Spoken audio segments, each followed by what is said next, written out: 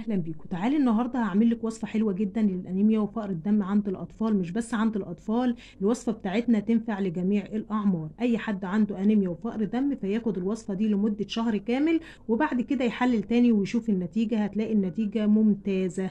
بجد أسرع علاج للأنيميا وفقر الدم. مش بس كده كمان بيرفع المناعة جدا بيحارب السرطان وكمان المقاوم بتاعنا بيظبط مستوى السكر في الدم فهو من جميع النواحي جميل جدا. بس مرضى السكر هيشيلوا مكون واحد بس من الوصفة بتاعتنا. لو هو عنده أنيميا وفقر دم وعنده السكر هنشيل مكون واحد من الوصفة بتاعتنا لمرضى السكر. بجد وصفة جميلة جدا. لو فعلتوها يوميا وخدناها بانتظام على الريق الصبح ده بيظبط لي مستوى السكر في الدم. مش بس كده وكمان بيعالج لي الأنيميا وفقر الدم عند الأطفال ومغذية جدا وقوي جدا لرفع المناعة. يلا بينا نسمي الله ونطلع رسولنا الكريم ونبدأ الفيديو. بس قبل ما نبدأ يا ريت like و share في الخير علشان تقاسمونا الأجر والثواب. ولو أول مرة بتشوفوني أنا فلفل ودي قناتي. أنا القناة على اليوتيوب والفيسبوك باسم يوميات ام فداء وعلى التيك توك باسم فلفل. أتمنى تتابعونا وتشتركوا معانا في القناة علشان نكبر بيكم وليكم. ويلا بينا نبدأ الفيديو بتاعنا. النهاردة هنعمل وصفة حلوة جدا لعلاج الأنيميا. وأول مكون معايا أو الرئيسي معايا هي الحلبة. دي طبعا كلنا عارفينها دي الحلبة. ممتازة جدا لعلاج الأنيميا وفقر الدم وكمان في مكونات تانية هنضيفها. ممتازة جدا لعلاج الأنيميا. طبعا الحلبة دي علشان ناخد الفايدة بتاعتها كاملة ممنوع نغليها على النار. تمام؟ إحنا هناخدها كده وهنضيف عليها المية المغلية وبس كده. وعلشان آخد الفايدة بتاعت الحلبة كاملة لازما آكل الحب بتاعها بعد ما أشرب الحلبة. ما ينفعش أشرب المية بتاع الحلبة وأسيب الحلبة زي ما هي. لو عندنا أطفال مش هيتقبلوا ياكلوا الحب بتاعها فيا ريت نعمل لهم نصحنها لهم وناخدها بودرة كده نعملها بتبقى كريمي وجميلة جدا وبلاش نتقلها لهم علشان يتقبلوها ويشربوها. تمام؟ الأطفال اللي مش بيحبوا الحلبه الحب. هنصحنها ونعملها بهذا الطريقة هيحبوها جدا وهتبقى في منتهى الجمال. يلا بينا كده على طريقة الاستخدام أو هنعمل الحلبه إزاي؟ هناخد نص معلقة من الحلبة وطبعا على الكوب اللي معايا. تمام؟ لو الكوب أكبر من كده هضيف معلقة من الحلبة تمام؟ كده نص معلقة بالشكل ده. وبعد كده هوت هضيف عليها مية مغلية. وما تنسوش إن إحنا عندنا في كل حلقة بنعملها في سؤال بنجاوب عليه في آخر الفيديو والسؤال النهاردة اللي إحنا هنجاوب عليه إن إحنا عندنا الأطفال عندهم قفل شهية ومش بياكلوا بسهولة وبيتعبونا جدا في الأكل ومش بيرضوا ياكلوا وعندهم سوء تغذية وكمان الطفل ده عنده نحافة شديدة. فأنا أعمل إيه وأتصرف إزاي علشان أخلي الطفل ده ياكل بشكل كويس وياخد كل وجبته كاملة؟ هو ده السؤال اللي إحنا هنجاوب عليه وأقول لك على وصفة حلوة جدا تديها للطفل ده تفتح شهيته على الأكل وكمان تسمنه لو هو نحيف.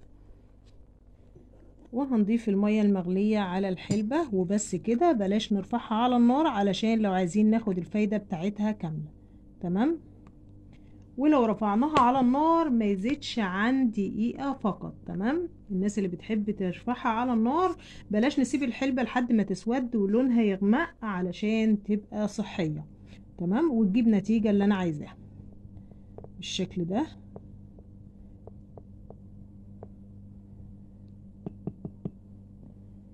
هنضيف إيه كمان؟ هنضيف معلقة من العسل. العسل الأسود مش الأبيض. تمام؟ هاخد كده معلقة من العسل الأسود. بالشكل ده كده وهبدأ أقلب.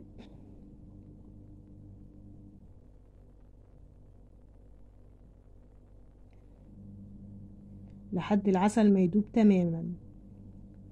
وبقى معايا أقوى وصفة للأنيميا والتخلص من الأنيميا وفقر الدم. لو انتظمنا على هذا الوصفة شهر كامل هتعالج لنا الأنيميا وفقر الدم بدون بقى ذهاب إلى أطباء وكمان العلاجات اللي هي كلها كيماويات. فالحاجات الطبيعية دي مفيدة جدا جدا لصحة الإنسان مش بس لعلاج الأنيميا لأ مفيدة جدا جدا وكمان بترفع لي المناعة. لو الطفل ده مناعته ضعيفة هترفع له المناعة جدا وفي منتهى الجمال. أنا عايزة أقول لكم على ملحوظة مهمة جدا أنا كنت بعملها أنا شخصيا.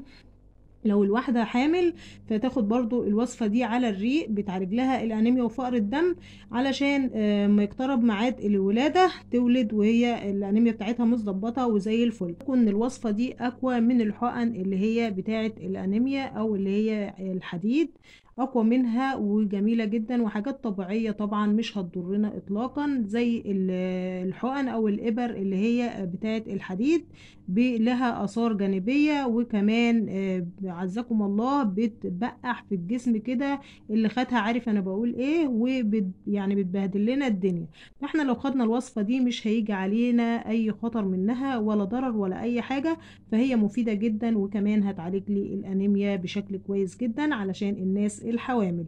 يعني هي مش بس للأطفال لأ تنفع للست الحامل الست اللي بترضع برضو وبتكتر لها اللبن أو في صدرها. فهو من الحاجات الجميلة جدا المفيدة المغذية للحامل واللي بترضع وكمان للأطفال وللكبار ولجميع الأعمار تنفع الوصفة بتاعتنا.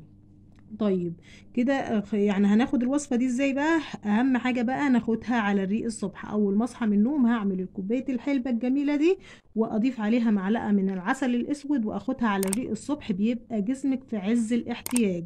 تبقي طول الليل مفيش أكل ولا شرب داخل الجسم فانتي جسمك هنا بقى بيبقى عنده آه، يعني استقبال لأي حاجة أنت هتاخديها. أو أهم حاجة أول حاجة تخش جسمك هي الكوباية دي الصبح. تمام؟ هتلاقي جسمك كده بيتقبلها بشكل ممتاز جدا فمن هنا بقى يحصل المعجزة وتعالج لنا الأنيميا وفقر الدم بمنتهى البساطة. وصفة سهلة وبسيطة بس بجد رهيبة. وهناخدها لمدة شهر كامل وبعد كده هنحلل ونشوف الأنيميا عملت إيه وإحنا ماشيين صح ولا لأ. وإن شاء الله هتلاقوا نتيجة مرضية بفضل الله تعالى. كده خلصنا من آه، علاج الأنيميا وفقر الدم. تعالوا هنخش على نمرة اتنين وهو السؤال بتاعنا بتاع النهاردة. السؤال هنا بيقول إيه؟ أنا عندي الأطفال نفسهم مسدودة عن الأكل ومش بياكلوا كويس. وجبة بقدمها للطفل ده ما بياكلش غير ربعها ويقول أنا شبعت خلاص مش قادر أكمل.